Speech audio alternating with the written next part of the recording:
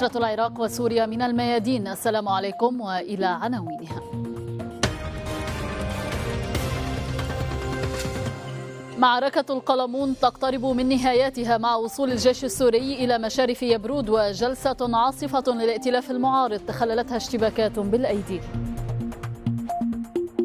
برزاني يصعد المواجهة مع الحكومة المركزية ويقرر من جانب واحد تحويل حلبجة إلى محافظة وائتلاف دولة القانون يرى في القرار تفتيتا للدولة العراقية. إلى تماس مباشر مع جبهة يبرود تقدم الجيش السوري بعد استعادته معظم مناطق القلمون المحيطة بها. وفي جبهة ميدانية أخرى استعاد الجيش السوري السيطرة على قرية المصومة القريبة من إدلب في خطوة تطرح علامات استفهام حول إبعاد تحريك الجبهات في الشمال السوري. أما على جبهة المعارضة فقد عاد الائتلاف عن قرار إقالة اللواء سليم إدريس بعد تسوية أفضت إلى تعيينه مستشارا لأحمد الجربة استقالة وزير دفاع الائتلاف مصطفى أسعد لكن التسوية سبقتها معركة كان نصيب الجربة أو الجربة منها عدة لكمات كما قيل. هذا في الشأن السوري. أما عراقيا فقد رفع رئيس إقليم كردستان مسعود برزاني من منسوب التصعيد السياسي مع الحكومة المركزية عبر قراره تحويل حلبجة إلى محافظة من دون اعتماد الآليات القانونية والدستورية في البرلمان العراقي.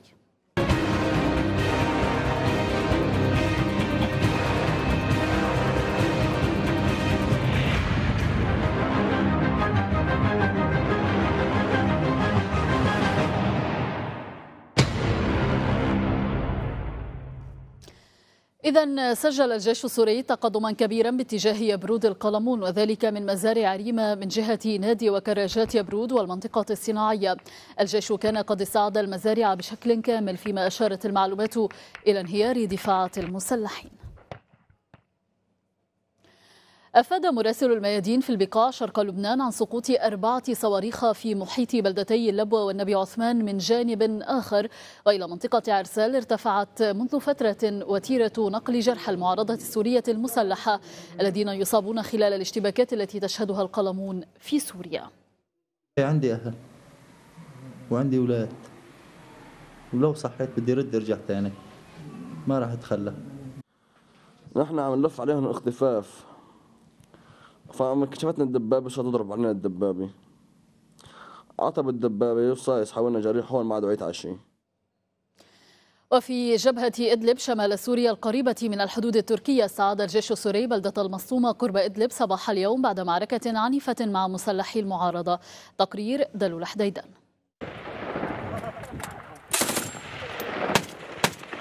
لا لغة في شوارع إدلب إلا لغة السلاح. محاولة سيطرة المعارضة المسلحة على طريق الإمداد بين طريق إدلب المسطومة ومحيط المدينة غربية سوريا سقطت تحت سلاح الجيش السوري. نحو خمسة آلاف مسلح تسللوا في الساعات الأولى من الهجوم إلى بلدة المسطومة الواقعة على جانبي الطريق الرابطة بين مدينة إدلب ومحافظة اللاذقية غربا. هجوم مضاد للجيش السوري أجبر المسلحين على الانسحاب بعد قتل وجرح عدد منهم بينهم أجانب. عدد من القتلى والجرحى كان نصيب الجيش من دماء المعركة. المدنيون أيضا نالوا نصيبهم في المعركة التي دارت في محيطهم حيث جرح عدد منهم جراء سقوط قذائف هاون أطلقها المسلحون على المدينة. وضعت المعركة أوزارها وتمركز الجيش السوري من جديد على طول طريق إدلب المسطوم الاستراتيجي فاتحا إياه أمام حركة المرور. تمشيط المزارع المجاورة للطريق كان أمرا ضروريا لتخليص المنطقة من كل الخلايا النائمة التي قد تحاول السيطرة مجددا على المكان.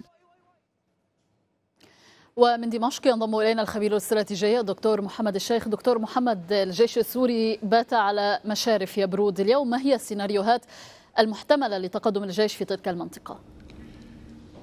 بالتأكيد لابد لنا أن نشير بأن الجيش العربي السوري وبعد جولات جنيف العديدة اتخذ قرارا نهائيا بالحسم النهائي على عدة جبهات وهذا ما نلاحظه من تفعيل للجبهة الشمالية عبر حلب وإدلب وكذلك لجبهة القلمون عبر السيطرة الكاملة على مزارع ريما والتي تشكل البوابة الرئيسية ليبرود وبالسيطرة على يبرود يتم تأمين الحدود مع لبنان. ومن هذا التأمين نستفيد قطع الإمدادات اللوجستية لهؤلاء المسلحين التي تأتي عبر لبنان من جهة ومن جهة ثانية محاصرتهم أو محاصرة المسلحين في بؤرهم في الغوطة الشرقية وأقصد دير العصافير والمليحة وغيرها من المناطق لأن خط الإمدادات بعد السيطرة على العتيبة وكذلك الباركة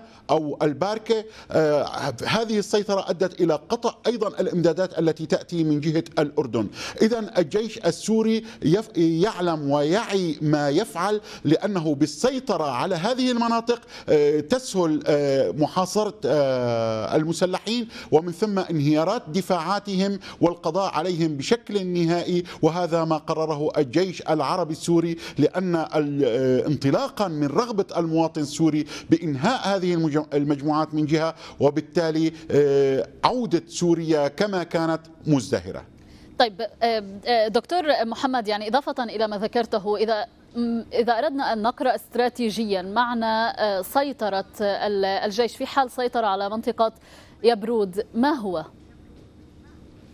في حال السيطرة على منطقة يبرود إذا المرتفعات السورية وهي الحدود الطبيعية جغرافيا أصبحت في حوزة الجيش العربي السوري. ونحن نعلم استراتيجيا بأن من يسيطر على على السماء أو ما من يسيطر على المرتفع فبالتالي محصلة أو تحصيل حاصل يسيطر على السهل. فإذا سيطرة الجيش العربي السوري على مرتفعات القلمون تؤمن خاص الخاصرة التي كانت رقوة وتؤمن تسلل المجموعات الإرهابية وإمداد هذه المجموعات من لبنان عبر مناطق في لبنان إمداد هذه المجموعات بالمسلحين وبالبشر وبالمعلومات وبالمال وبالأسلحة. هذا التأمين يؤدي إلى انهيار الدفاعات بشكل أساسي إلى تزعزع أو النفسية المقاتلة أو نفسية القتال لدى المسلحين سوف تنهار.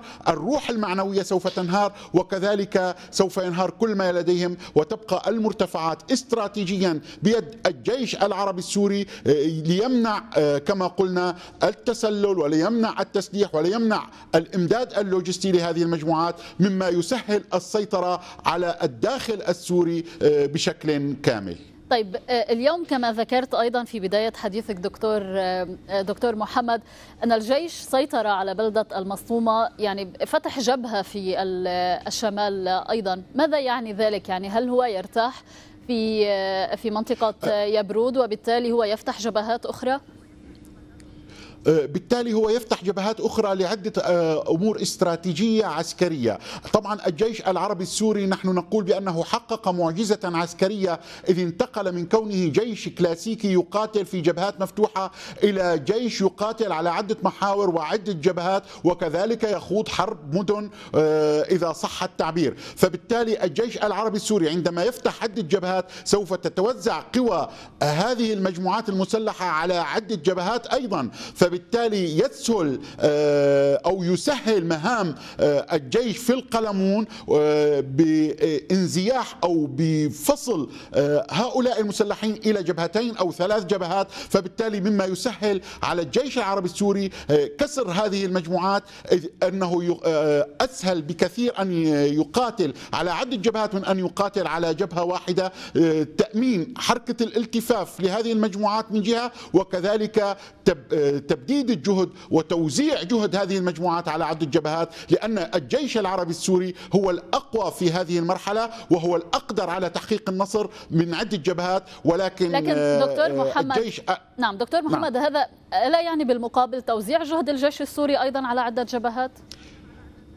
نحن قلنا في البداية بأن الجيش السوري هو الأقوى. لذلك توزيع أو فاضل قوة الجيش السوري إذا وزعت تكون أكثر بكثير من فاضل قوة المسلحين إذا وزعت. فبالتالي توزيع جهد المسلحين سوف يسهل على الجيش العربي السوري كسر هذه المجموعات على هذه المحاور التي وزعت عليها لأن فاضل القوة في التوزيع لصالح الجيش العربي السوري. طيب تم الترويج في الآونة الأخيرة لفتح جبهة الجنوب بغية إقامة شريط عازل في منطقة الجولان الجولان السوري. طيب إلى أي مدى هناك حظوظ ربما لفتح هذه الجبهة؟ هناك إمكانية لفتح هذه الجبهة؟ طبعا من قبل المعارضة نتحدث. نقول بأن تسخين جبهة الجنوب والتي لم يبقى غيرها يمكن أن تكون مفعلة أو تكون داخل نطاق الخدمة إذا صح التعبير من قبل من يريد لسوريا الانهيار. هذه الجبهة سوف تسخن وسوف يكون هناك حرب ضروس أو معارك ضروس في هذه المنطقة لعدة أسباب. للسبب الرئيسي بأن هذه المنطقة ما زالت أو بعض هذه المنطقة المنطقة ما زال يشكل حاضنة شعبية لهذا آه، للمسلحين. هذا من جهة. ومن جهة أخرى هذه المنطقة كما تعلمون قريبة من الكيان الغاصب. هذا القرب يؤدي إلى إمداد لوجستي لهذه المجموعات واحتضان آه، آه، دولة لهذه المجموعات. فبالتالي هذه الجبهة هي الجبهة الوحيدة التي يمكن أن تفعل مستقبلا ولكن الجيش العربي السوري مستعد بما فيه. ليس الكفاية بما فيه آه، ما يضمن التفوق في هذه الجبهة آه، لخوض هذه المعارك إذا حدثت. لذلك أنا أقول بأن الجبهة الوحيدة المرشحة الآن كي تكون آه، حارة وضروس هي الجبهة الجنوبية أو المحور الجنوبي من البلاد للأسباب التي ذكرتها طيب لكن آه، دكتور محمد يعني تم الحديث حول هذه النقطة أنه بعد استعادة آه، القلمون أو بعد السيطرة على القلمون سيتم تسخين هذه الجبهة السؤال المطروح اليوم بعد ما يجري في القلمون وتقدم الجيش باتجاه يبرود هل من آفاق بعد لهذه الخطة؟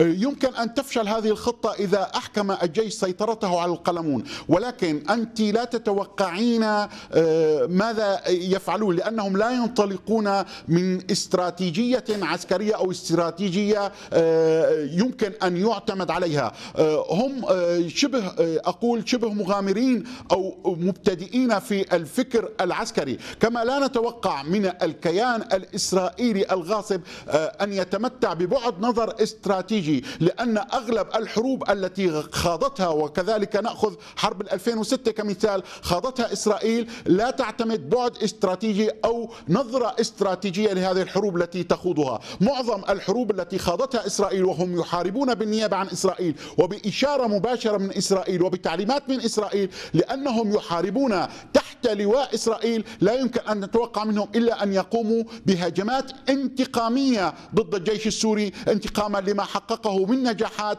في القلمون أو على الجبهة الشمالية أو في إدلب بتحريره لقرية المسطومة يمكن آه، أن نتوقع من هذه المجموعات أن تقوم بتسخين جبهة الجنوب لحس انتقامي وليس لأن آه، لأنهم ينطلقون من استراتيجية أو وجهة نظر استراتيجية حقيقية. نعم إذا الدكتور محمد الشيخ الخبير الاستراتيجي حدثنا من دمشق. شكرا لك.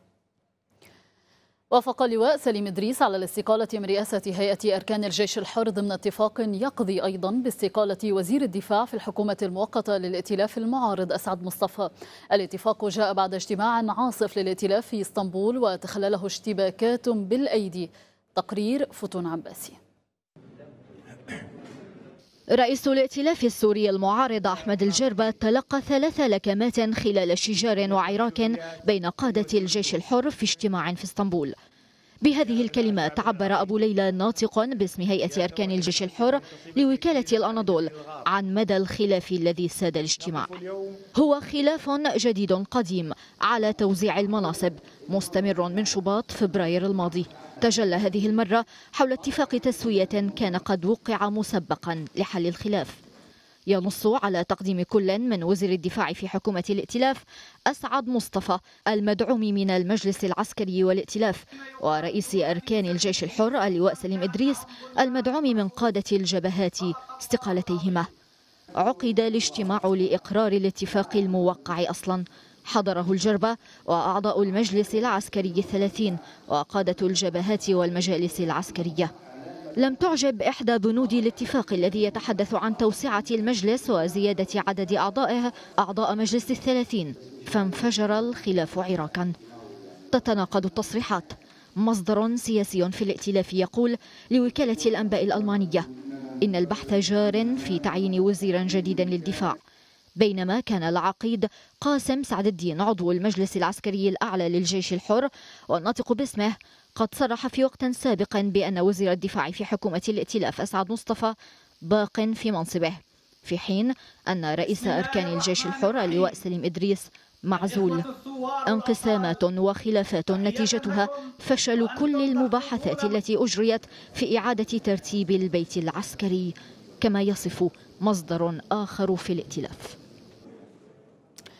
وحول هذا الموضوع ينضم إلينا من الرياض عضو الائتلاف السوري المعارض زياد أبو حمدان سيد زياد ما جرى في في اجتماع الائتلاف آه، شجار آه، لكمات أو ثلاث لكمات توجه إلى رئيس الائتلاف أحمد الجربة عراق بالأيدي آه، كيف نفسر ذلك؟ هل هو يدخل ضمن صراع نفوذ داخل الائتلاف أم ماذا؟ مساء الخير أختي لك وللسيدات والسادة المشاهدين. لا أرغب التعليق على تفاصيل جانبية في تدور في الاجتماعات. آه، أرغب الحديث عن جوهر الموضوع وجوهر الاتفاق. آه، وأقول بكل بساطة أن المعارضة السورية أو السلطة في دمشق آه، كلاهما لم يبلور حلا ولم يبلور استراتيجية لحل النزاع الموجود على الأرض السورية وإخراجه من التجاذبات الدولية حتى الآن. آه، على العكس تماما يتم تعميق هذا الاتجاه آه، والشعب السوري يدفع كل يوم آه، من دمائه ومن بنيته التحتية ومن كرامته الكثير. نحن الآن أمام أزمة حقيقية سواء كانت سياسية أو عسكرية حيث أن الانسداد الحاصل بالجانب السياسي المتمثل بفشل مؤتمر جنيف بالوصول إلى آلية للحل وأيضا على الأرض في الواقع الميداني الفشل المستمر في وقف الهجمات ووقف القتل والبراميل المتفجرة والصراع على الأرض سواء في يبرود أو في كل الجبهات الساخنة. واستمرار الحصار واستمرار موت المواطن السوري أو المواطنين الذين هم بحكم السوريين كالإخوة الفلسطينيين في مخيم اليرموك والأطفال والنساء كل هذا يدل على انسداد حقيقي في في الأزمة السورية.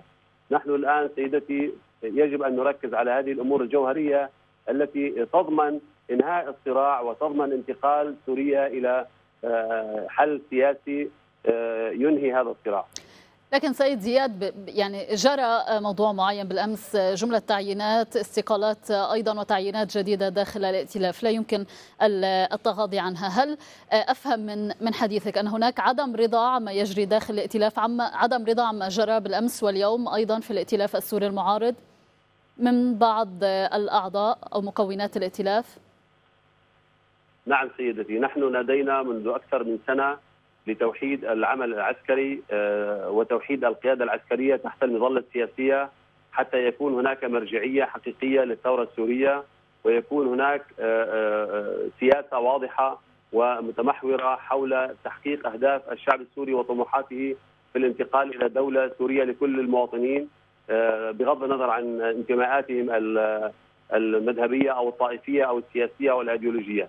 آه، لذلك نحن من آه، الفريق الذي آه، ينادي ويعمل جاهدا لتذويب الصراعات وإنهائها من أجل توحيد الرؤية سواء كان في الداخل أو في الخارج والبحث عن حل حقيقي حيث أن الكرة في ملعب السوريين أنفسهم سواء النظام سواء المعارضة نحن اليوم كما قلت لك كل كل التفاصيل تصب في مصالح الدول الكبرى ومصالح إسرائيل ومصالح الإقليمية والدولية والذي يدفع الثمن هو الشعب السوري. آه، نحن نرغب بانتقال حقيقي لوقف آه، كل التدمير وخروج كافة المسلحين غير السوريين من الأراضي السورية وجلوس السوريين آه، مع بعضهم لمناقشة مستقبل سوريا على ضوء المستجدات الوطنية وتضمن كرامة هذا الشعب وإنهاء قضية اللاجئين السوريين الذين أصبحوا بالملايين خارج سوريا، نحن اليوم نتعرض إلى كارثة كبرى أكبر من تفاصيل اجتماعات الائتلاف وأكبر من تفاصيل اجتماعات الحكومة السورية ومن ومن يساندهم جميعا. طيب سيد زياد يعني جلوس السوريين مع بعضهم لحل الأزمة السورية، من يدخل ضمن هذا الاجتماع؟ هل من الممكن يعني هل تطرحون أيضا النظام أن يدخل ضمن هذه الاجتماعات لحل الأزمة السورية؟ هل نفهم ذلك؟ سيدتي هناك قرارات ل قرار لمجلس الأمن 2118 وهناك اتفاق جنيف واحد الم... ال... الذي تم برعاية الأمم المتحدة وروسيا و... وأمريكا وبناء عليه عقد مؤتمر جنيف اثنين للبحث عن حل سياسي للأزمة السورية وإنهاء الصراع لكن نحن وجدنا أن هناك انسدادا حقيقيا في. في الأفق السياسي لدى النظام و... ومن يساعده هناك إدارة للصراع مستمرة من قبل القوى الكبرى سواء أمريكا أو روسيا روسيا تستخدم الفيتو في مجلس الأمن وأمريكا تستخدم الفيتو لمنع تسليح المعارضة وبالتالي فتح مجال مستمر للتطرف ومجال مستمر لفصائل على الأرض السورية خارج من خارج الأرض السورية واستمرار هذا الصراع باجندات لا تخدم الشعب السوري على الإطلاق. لذلك يجب البحث عن حل حقيقي له مرجعية واضحة، مرجعية جنيف واحد يتحمل مسؤوليتها كل من النظام والمعارضة. اليوم نحن لدينا إخفاق هائل في في كلا الجانبين. لذلك يجب البحث حقيقة في بآلية جديدة في الخروج بالخروج بمحددات أساسية لفهم هذا الصراع وفهم تداخلاته الإقليمية والدولية ووضع مصلحة الشعب السوري في المرتبة الأولى. طيب سيد زياد ما تتحدث عنه من أن أمريكا تضع فيتو أمام تسليح المعارضة السورية، لكن برأيك اليوم يعني هل من قرار هو أو هل القرار بيد الجيش الحر بعدما رأينا من انتشار الجماعات المتطرفة على الأراضي السورية، هل ممكن الحديث عن قوة أو قدرة للجيش الحر اليوم على الأرض؟ سيدتي الجيش الحر أو فصائل المعارضة أو فصائل المسلحة الموجودة على الأرض السورية باختلافاتها هي بيئة حاضنة لشراء الولاءات الإقليمية والدولية. وبالتالي الموضوع يتعلق بالسوريين أنفسهم. إذا كان لديهم استراتيجية واضحة وقرار يترفع إلى مستوى الأزمة السورية يجب عليهم أن يجتمعوا جميعا لوقف كل عمليات القتل وكل عمليات الإبادة سواء من النظام أو من المعارضة. والتوجه لحل سياسي حقيقي يضمن إنهاء هذا الصراع بالسرعة القصوى. نعم. حيث أن الحديث عن فتح جبهة الجنوب الآن أصبح واردا جدا. وإذا فتحت هذه الجبهة ستفتح نار جهنم على دمشق وعلى الجنوب وعلى باقي أجزاء سوريا. نحن لا ينقصنا دمار لا ينقصنا قتل لا ينقصنا تشريد. نحن ينقصنا وحدة وحدة استراتيجية لفهم القضية السورية والخروج منها ونحن يجب أن نقضي على شيء نسميه اتفاقية سايكس جديدة كيري لافروف لتقاسم النزاع تقاسم مناطق النفوذ في المنطقة واستخدام الورقة السورية لضرب إيران واستنزاف إيران وأيضا دخول روسيا بصراع مستمر وبالتالي نحن الآن على أجندة مفتوحة لا يعلم بها إلا الله وإلى متى سيمكن وقف هذه العمليات. نعم. لذلك نحن بكل بكل أمانة نتطلع ونعمل جاهدين لوقف كل النشاطات الجانبية التي لا تدعم وقف هذه العملية العسكرية ووقف التدمير داخل سوريا والبحث عن حل يضمن حقوق الشعب السوري وعودة وعودة المهجرين واللاجئين إلى أراضيهم. طيب سيد زياد ابقى معنا لو سمحت.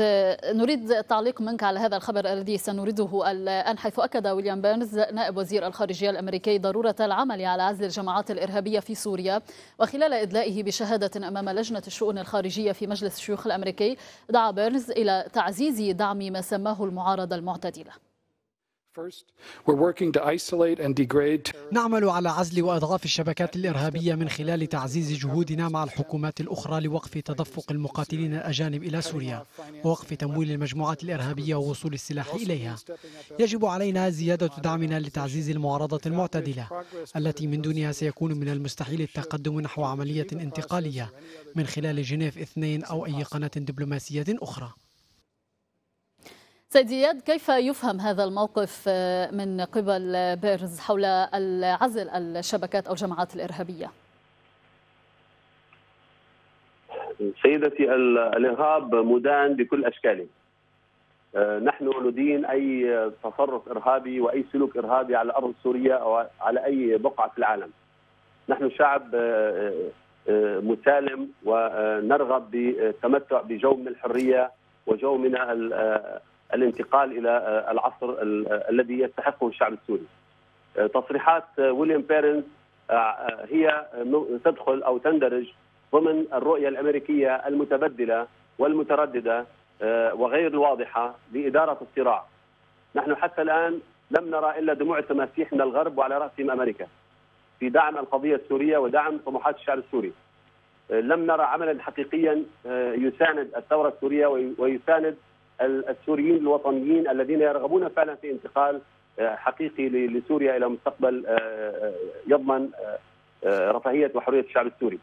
لذلك نحن ننبه إلى خطورة سياسة جديدة قد تنتهج ضمن برنامج إدارة الصراع.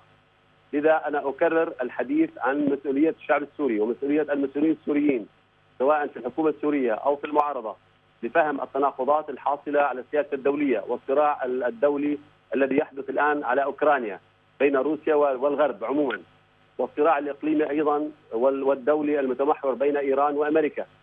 آه، يجب أن نفهم هذه الصراعات تماما ونقيمها على ضوء مصالح الشعب السوري، يجب أن تتقاطع مصالح الشعب السوري اولا ومن ثم تتقاطع مصالح الدول الكبرى، لا العكس، الآن ما يحدث هو العكس تماما، هو مصالح الدول الكبرى تتقاطع على أرضنا وتتقاطع وتقطع من لحمنا ودمنا.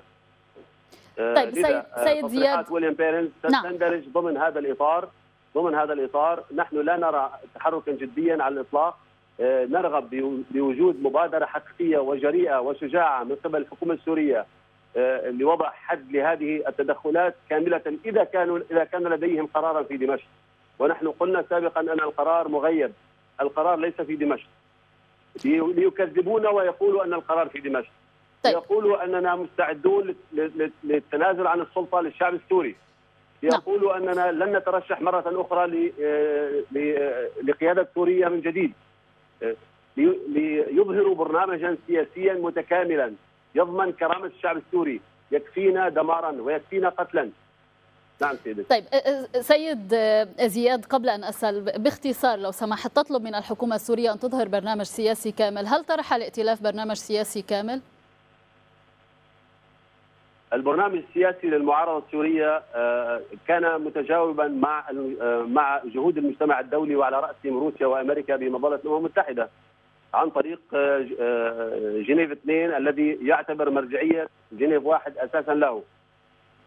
وشاهدنا كم كان هناك تسويف من وفد النظام والهروب إلى الأمام من الاستحقاقات الأساسية لمناقشة ووضع آلية لانتقال السلمي إلى إلى مستقبل لسوريا لذا سيدتي البرنامج واضح ومعروف لا يمكن على الإطلاق للشعب السوري والمعارضة أو أو الحكومة السورية أن تتملص من من الالتزامات الدولية.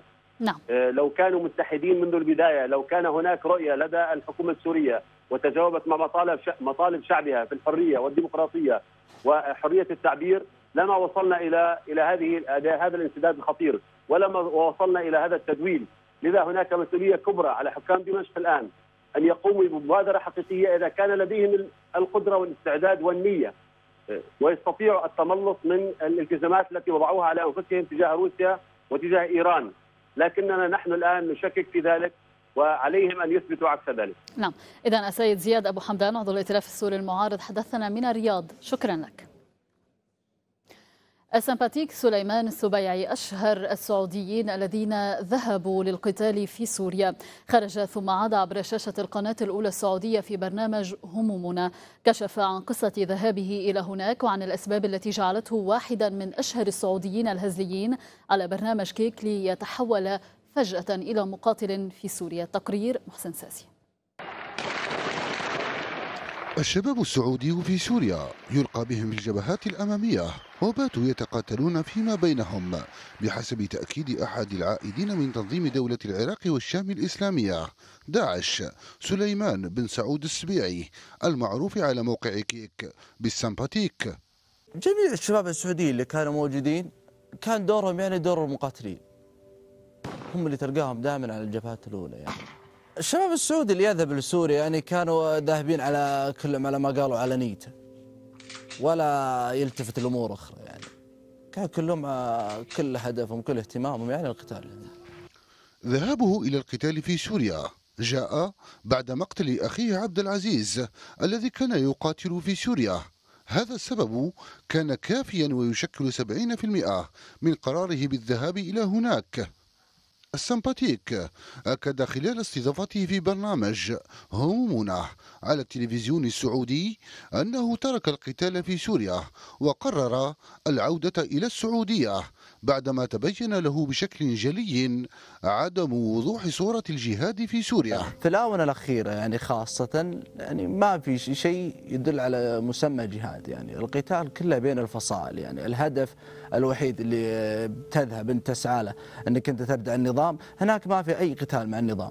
الآن آه، جميع الفصائل هي اللي تقاتل بعض فأنا أنصح يعني الشباب اللي موجودين هناك أنهم يخرجوا من الدائرة هذه قد ما يقدرون.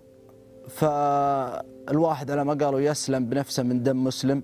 أهون عند الله يعني. من أنه يقتل أخوه. العائد من داعش. كشف أن الجنسيات العراقية والسورية استحوذت على المناصب القيادية. فيما كانت الجنسيات التونسية والليبية هي من تسيطر على غالبية أمور التشريع والفتاوى في داعش. كان السمباتيك. يشير أكثر من مرة إلى أن شهرته كانت الغنيمة التي بحث عنها مقاتلو تنظيم داعش. في إرسال رسائلهم وأفكارهم وقراراتهم ودعواتهم الآخرين إلى النفير. لكن السمباتيك لم يكن يجرؤ من خلال حسابه على حذف تغريدة فيه بعدما استولت عليه داعش. ليبقى السؤال مطروحا. حول كيفية تمكنه من حذف التغريدات التكفيرية والحسابات العائدة لمقاتلين من داعش قبل أن يعود ويسلم نفسه للسلطات السعودية. على الرغم من الترويج الإعلامي الضخم الذي اعتمدته إسرائيل في الكشف عن الاستيلاء على السفينة كلوسي تعاني اليوم تل أبيب خيبة كبيرة من جراء تعاطي الإعلام الغربي مع هذه القضية. تقرير منال إسماعيل. الإحباط الإسرائيلي العميق هو ما دفع إسرائيل بحسب معاريف للبحث عن أدلة تدين إيران وتثبت أنها لم تغير جلدها. فوجدت ضالتها فيما تقول إنها سفينة تحمل أسلحة وجهتها غزة. لكن الدعاية الإعلامية التي أدارتها إسرائيل حول الاستيلاء على السفينة لم تفعل فعلها فكانت النتيجة خيبة أمل إسرائيلية من مستوى الاهتمام الإعلامي الغربي الذي جاء دون التوقعات.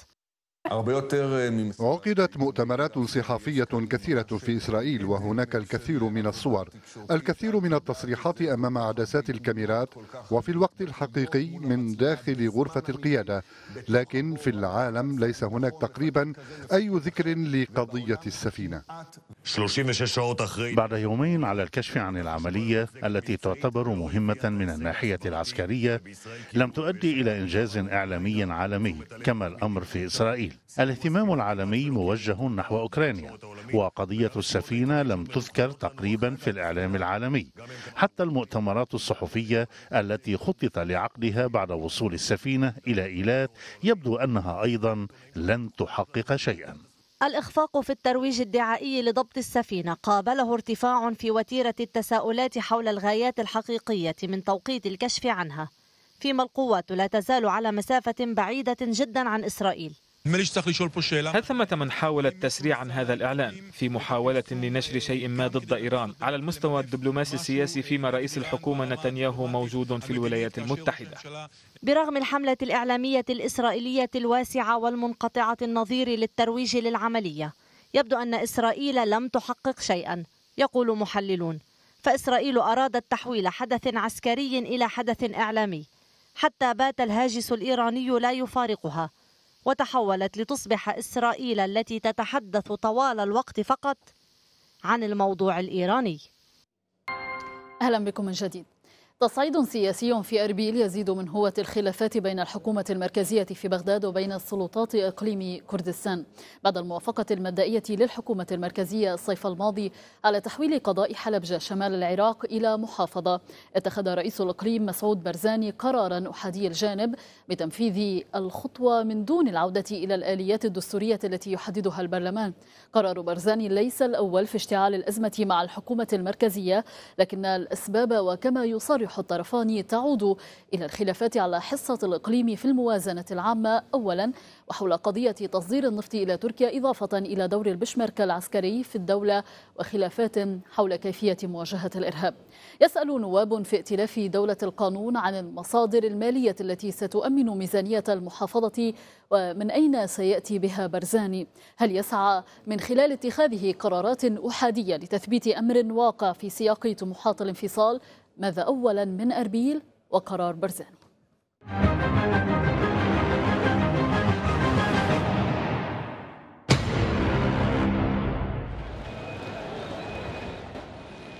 مدينة حلبجة غير المتنازع عليها. باتت موضع نزاع برز في الساعات الأخيرة بين بغداد وأربيل. بارزاني يوجه حكومة الإقليم ببدء إجراءات تحويل القضاء التابع للسليمانية إداريا. إلى محافظة ستكون الرابعة ضمن حدود الإقليم. أنا أعتبر بأن المسألة ستتجه إلى الكونفدرالية وربما ليست كونفدرالية مع العراق بل مع دولة مجاورة أخرى. خطوة بارزاني جاءت ردا على عدم استجابة بغداد بتحويل حلبشة إلى محافظة. يبرر رئيس الإقليم. وفق صلاحيات يرى أنها من حقه. المادة 110 من الدستور العراقي والمادة 115 والتي تنص على أنه كل ما لم ينص عليه في الاختصاصات الحصرية للسلطات الاتحادية تكون من صلاحيات الأقاليم والمحافظات الغير منتظمة في إقليم والصلاحيات الأخرى المشتركة بين حكومة الإقليم والحكومة الاتحادية تكون فيها الأولوية لقانون الإقليم. هي الورقة الثانية إذن يستخدمها الإقليم في غضون أيام للضغط على بغداد. أمس كان قطع مياه سد دوكان الذي يغذي محافظتي كركوك وصلاح الدين. واليوم تتحول حلبشة إلى محافظة من دون موافقة المركز فيما الترقب يسود الشارع الكردستاني بشكل خاص والعراق بشكل عام. حيال الورقة الثالثة التي يمكن أن يكشف عنها برزاني قريبة. استحداث محافظة حلبشة. لا يترتب عليه أعباء مالية إضافية. يرد كردستان على المشككين بقراره فهو لن يحتاج سوى تخصيص راتب للمحافظ وبعض المدراء العامين. فيما إصدار الهويات وتغيير لوحات السيارات فسيكون على مراحل تدريجية. محمد كريم أربيل الميادين. خطوة غير جادة ودعاية انتخابية مدغدغة لمشاعر الأكراد. هكذا وصف ائتلاف دولة القانون الحاكم تحرك رئيس إقليم كردستان العراق نحو إعلان قضاء حلبجة محافظة تضاف لمحافظات الإقليم الثلاث. إقليم كردستان يصعد لهجته تجاه حكومة بغداد الاتحادية مرة أخرى. تهديدات بالانفصال وصلت حدتها بالتوجه إلى إعلان قضاء حلبجة في السليمانية محافظة مستقلة من دون انتظار رأي حكومة بغداد المركزية. تحرك الإقليم اعتبره الائتلاف الحاكم تجاوزا لدستور البلاد النافذ وهيبة رئاستي الجمهورية والوزراء. تهديدات غير صحيحة وغير مناسبة ولا تليق في معالجة القضايا الخلافية بين الإقليم وبين المركز بالتأكيد هي لا تخيف أحد وهي تأكيد مرة أخرى على مدى مخالفة حكومة الإقليم للدستور. سبق تهديدات الإقليم الأخيرة تحركات وصلت حد خفض كردستان مناسيب المياه عن المحافظات العراقية والسبب اعتماد التوافق في القرارات بين الطرفين لعقد من الزمان يقول مراقبون. وركن الدستور الذي يفترض أن يكون مشرعا وفاصلا في الأزمات وعدم وجود قانون واضح لتنظيم علاقات بغداد وأربيل. كان يفترض منذ عام 2006 يكون هناك قانونا ينظم العلاقة ما بين الإقليم وبين الحكومة المركزية. هذا القانون من المتعذر أن يصدر على اعتبار أن الإقليم سوف يضغط بشكل قوي جدا لعزل إقليم كردستان عن سيطرة الحكومة المركزية. ويرى مراقبون ازدواجية في تحرك الإقليم وإعلان الوحدات الإدارية فيما رفض الإقليم فيه رفع الحكومة العراقية قانونا للبرلمان. يقضي بتحويل أقضية طوس خرماتو وسهل نينوى وتل عفر إلى محافظات. المؤشرات على أرض الواقع السياسي تشير إلى أن زمن التوافقات بين القادة العراقيين ربما قد ولى وبذلك فإن البلاد أحوج ما تكون اليوم إلى مخارج جديدة لأزماتها المعقدة. عبد الله بدران بغداد الميادين. وحول هذا الموضوع معنا من بغداد النائب في البرلمان العراقي عن ائتلاف دولة القانون السيد خالد الأسادي نرحب بك. وأيضا معنا من أربيل المستشار الإعلامي في البرلمان الكردستاني طارق جوهر. أيضا نرحب بك سيد طارق. ونبدأ معك بالسؤال. يعني أوساط بغداد تقول بأن هذه دعاية انتخابية ما قام به البرزاني هو دعاية انتخابية ودغدغة لمشاعر الأكراد بالإضافة إلى أن هذا القرار يفتت العراق لماذا قد يقوم البرزاني بخطوة أحادية الجانب؟ نعم مساء الخير أهلا بكم وأهلا بضيفك الكريم. حقيقة موضوع حلبجة ليس دعاية انتخابية. هذا الموضوع استحداث محافظة حلبجة هي ليست جديدة عندما كان نظام صدام موجودا في بغداد في 99 برلمان كردستان أقر استحداث عدة محافظات. منها حلبجة وأيضا رانيا وغيرها من المناطق في كردستان بسبب توسع نسبة سكانها واحتياجها إلى رفع درجة الخدمات الإدارية في هذه المناطق. حلبجة لديها خصوصية أصبحت حلبجة أحد الرموز الدولية بسبب عمليات استخدام الأسلحة الكيميائية ضد سكان مدنيين في هذه المدينة من قبل النظام السابق كان ينبغي على الحكومة الاتحادي وعلى البرلمان الاتحادي أن لا يتباطؤوا في تأجيل حسم موضوع تسمية طيب سيد طارق لماذا لماذا لم ينتظر البرزاني الآليات الدستورية اللازمة لاتخاذ هذا القرار؟ آه نعم هذا يعود إلى أن الشعب كان في مدينة حلبجة آه بدأوا يتظاهرون وخرجوا إلى الشوارع في عدة مظاهرات. طالبوا الحكومة الاتحاديه بالإسراء والبرلمان الاتحادي بالإسراء في آه تسمية حلبجه كمحافظه وتحويلها إلى محافظة وهم يطالبون بتحويل هذه المحافظة قبل آه ذكرى استخدام الأسلحة الكيميائية في هذه المحافظة في 8 في 16 3 من هذا الشهر. لذلك أعتقد بأن قرار رئيس الإقليم جاء ب توصية لحكومة إقليم كردستان باتخاذ الإجراءات الإدارية حتى إذا اتخذ القرار في بغداد فأعتقد بأن الجانب التنفيذي تقع على الحكومة في إقليم كردستان لتتخذ التدابير واحتياجات منها استحداث المؤسسات الإدارية الجديدة في هذه المحافظة. هذه هي خطوة سبب تباطؤ وعدم تنفيذ الحكومة الاتحادية لوعودها لشعب حلبجه ولسكانها نعم. الضحايا. نعم. طيب سيد طارق ابقى معنا. سننتقل إلى السيد خالد الاسد يقول سيد طارق من أربيل سيد خالد بأن الآليات التنفيذية أو الخطوات التنفيذية تقع على عاتق حكومة إقليم كردستان. طب ما المشكلة في استحداث أو في تحويل حلبجه إلى محافظة؟ أين المشكلة في ذلك؟ إذا كانت كل الآليات التنفيذية تعود إلى حكومة كردستان؟ بسم الله الرحمن الرحيم. هو بكل تأكيد لا يوجد إشكال من الناحية المبدئية حول تحويل بعض الأقضية إلى محافظات باعتبار أن الدستور العراقي كفل ذلك. وأيضا قانون المحافظات رقم 21 أيضا كفل. آليات دستورية وقانونية لتشكيل المحافظات وتحويل الأقضية إلى محافظات. من ناحية المبدا لا مشكلة في ذلك لكن بكل تأكيد حتى تتحول قضاء أو منطقة إلى محافظة هناك اليات قانونية ودستورية ينبغي أن تمر بها. ومثل ما هو محدد في القانون ينبغي أن يصدر قرار في مجلس الوزراء ثم بعد ذلك يتحول القرار إلى تشريع يتم قراره في مجلس النواب. حتى بموجب ذلك تتحول منطقة قضاء إلى محافظة ضمن المواصفات اللي حددت في القانون لتشكيل المحافظات. من الناحية العملية يمكن البدء لحكومة الإقليم ب يعني تشكيل بعض الوحدات الإدارية، بعض عفوا بعض الأبنية، بعض المنشات ولكن لا يمكن إعلان حلبش محافظه ما لم تكتمل هذه الإجراءات القانونية. سوف إذا ما أراد الاقليم ان يتجه باتجاه إعلان منطقه وحتى سوف تبقى إجراءات طيب سيد خالد هل تعتبرون هذا القرار قرار سياسي أم قرار قانوني؟ لا يعني هو مثل ما تعرفون هو جزء من محاولة تحديد الرأي العام الكردي بنوع من يعني بنوع من المواقف المتصلبة أو متشنجة ومحاولة اتهام الحكومة الاتحادية دائما كوسيلة لكسب الرأي العام الكردي. وهذه معروفة بالكبار لبعض السياسيين الأكراد لكن بالحقيقة لا توجد مشكلة. هناك عدة قرارات اتخذها مجلس الوزراء.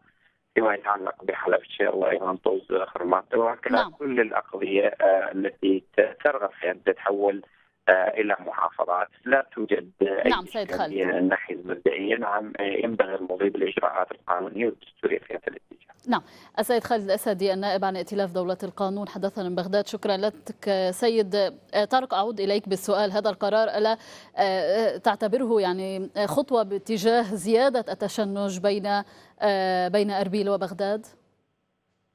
نحن لسنا مع التصعيد وزيادة التشنج بين بغداد وأربيل. بالعكس نحن نستغرب من لهجة التصعيد من قبل الحكومة الاتحادية، حقيقة هي حكومة اتحادية ولكن العقلية تحكم في بغداد. هي حكومة الشمولية والمركزية وحكومة الشخص الواحد وقرار الحزب الواحد والفئة الواحدة، وهذا ما يخيفنا لأن هذا خطر كبير على الديمقراطية وعلى الفدراليه في العراق.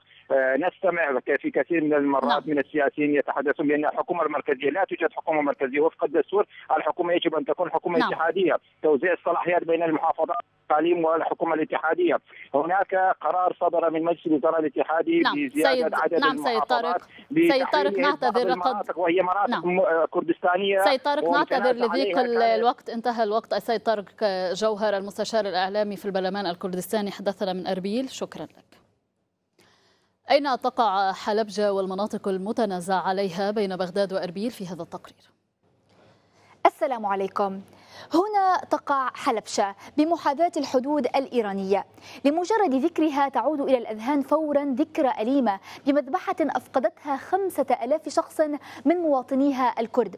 في السادس عشر من الشهر الحالي تحيي حلبشة الذكرى السادسة والعشرين لتعرضها للقصف الكيميائي من قبل قوات الرئيس العراقي الراحل صدام حسين. حكومة إقليم كردستان تتهم حكومة بغداد بالعدائية تجاه هذه المدينة. يشكو ساكنوها نقصا في الخدمات والحاجات الضرورية. في حزيران يونيو من العام الماضي قرر الإقليم تحويلها إلى محافظة. الحكومة العراقية المركزية أحالت القرار إلى مجلس النواب نهاية العام الماضي إلا أن القرار لم يبت فيه بعد.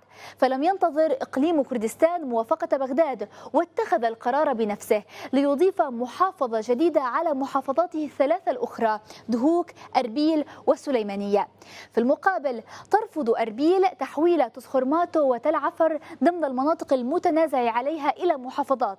اعتبرت ذلك انتهاكا صارخا للدستور. المناطق المتنازع عليها مصطلح يطلق على مجموعة من الأقضية والمناطق المحددة ضمن المادة 140 من الدستور العراقي. في اللون الزهري تظهر المناطق المتنازع عليها وهي جزء من منطقة الحكم الذاتي الكردي. تضم عقرة جمجالة و باكلان في اللون البني تظهر المناطق المتنازع عليها وهي تخضع لسيطرة الحكومة المركزية وتضم محافظة كركوك وأجزاء من محافظات نينوى صلاح الدين ديالى وواسط النزاع على المناطق ليس الخلاف الوحيد بين الحكومتين. واليوم قرار أربيل بتحويل حلبشة إلى محافظة من دون انتظار الموافقة النهائية من بغداد. سيزيد الأمور توترا على توتر. إلى العناوين.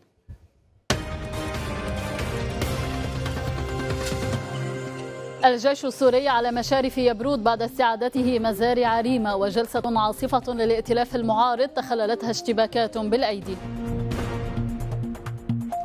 بارزاني يصعد المواجهة مع الحكومة المركزية ويقرر من جانب واحد تحويل حلبجة إلى محافظة. وائتلاف دولة القانون يرى في القرار تفتيتا للدولة العراقية. ختاما. شكرا للمتابعة. إلى اللقاء.